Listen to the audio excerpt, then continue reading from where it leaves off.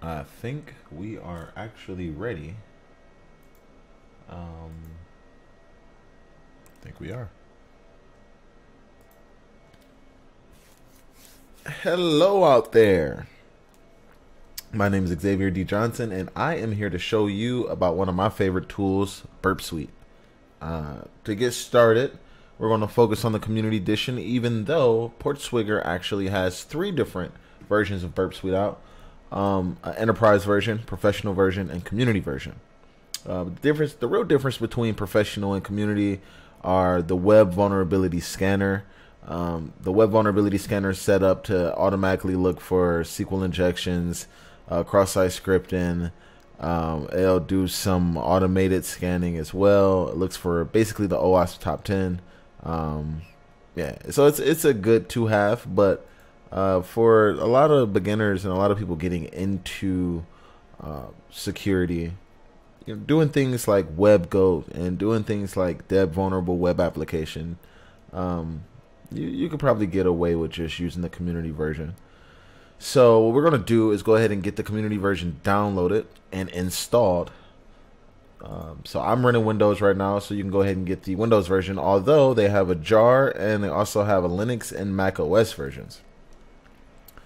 So what I'm gonna do is I'm gonna go ahead and get the Windows version. Click save file.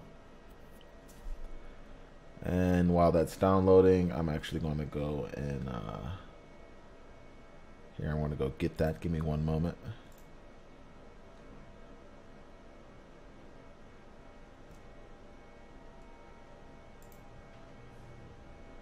All right. Now we actually have the file. It's been downloaded. And I've already installed this, but I'm going to go ahead and reinstall it. Install over it, so to speak. So when you double click on the installation wizard, this is what will happen. It'll run. You'll get a UAC, which means your entire screen will blank out, and you will have to click yes to allow Burp Suite to make changes. And since I am actually over you know, installing over something that already exists, it's going to ask me, do I want to update the existing application? I'm going to go ahead and say yes. It's going to re-extract those files over. We're going to let it do its thing.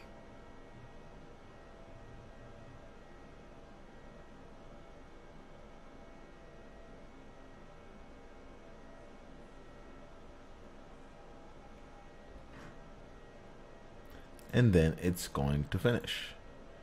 Um, give me one second here.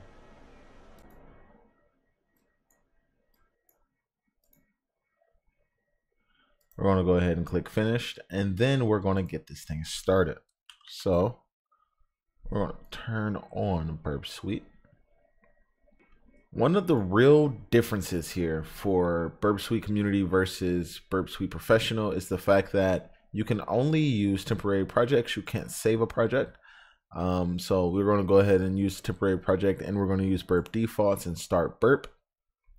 Burp by default stands up a proxy server on your local host at port 8080. So if you click the proxy tab, which is the third tab, and you go over to options, which is the last tab, you'll see an interface running on port 8080.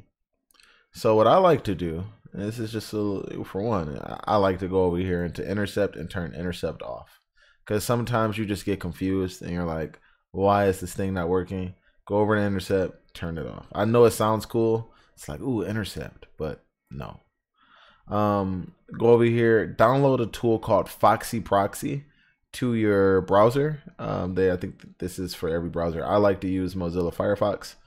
Foxy Proxy will then allow you to um, add a proxy. I'm going to make a Burp Suite uh, community. We're going to go ahead and say uh, 127.0.0.1 because there's no place like localhost. Um, we're going to go 8080 for the port because that's what's standard. We're going to go ahead and save that. Now, we have a proxy that we can switch on and off right here in the browser immediately. It's amazing. So now uh, you want to go over to something like Google Click refresh. Google works, right? Awesome. So now we want to start to run all of our traffic through Burp Suite Community. So now we have the green burp. We refresh. Oh, software is preventing Firefox from safely connecting to the site. It looks like the Portswigger CA, and the CA stands for Certificate Authority, is blocking. Okay, what is this about? So you can go over to events and you can see there's no way to easily go forward. You have to go back. Um, oh, look at that. Did we just find a way to get around? No, we didn't. Live. I thought we had a zero day, but we don't. Um, so you're probably thinking, okay, what, what do we do now? Well, inside of options, you'll see import export CA certificate, right? So there's a certificate here that we can use. Uh, so I'll actually go and grab the URI for that. And I believe the URL is just http burp.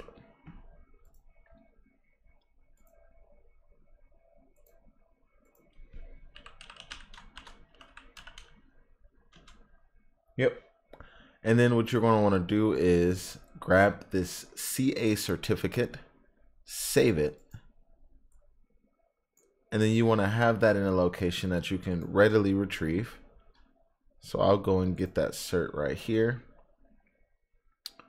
And what you're going to want to do is add that cert to your list of trusted certificate authorities.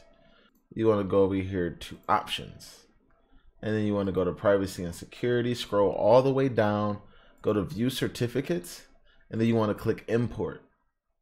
And inside of import, then you want to locate where you downloaded your certificate. Go ahead and import that certificate to trust websites and email. Go ahead and click OK. Click OK again. And now you should be able to do things like go to Google.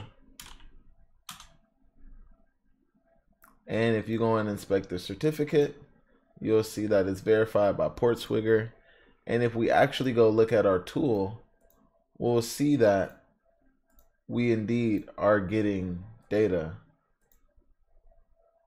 from all over the place, including HTTPS hosts.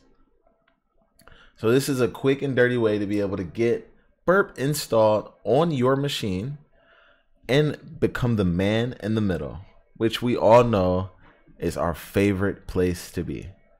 I hope this is helpful for you. Maybe in our next videos, we'll go into how to use Burp on an engagement. Um, but for now, go out, dig, go do some Googling. Wait until I come back. Let's see if my next video is boring for you. But until then, have fun, stay safe, and don't get in any kind of legal trouble using Burp on anybody's site that you are not permitted to use on. That is a very direct and clear warning. Be nice, play nice, be safe. Peace.